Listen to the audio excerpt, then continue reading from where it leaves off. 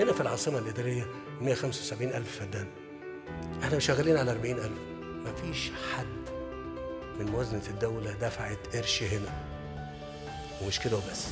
الشركة اللي شغالة هنا هتأجر لنا كل اللي عملته في التطوير العقاري للحكومة.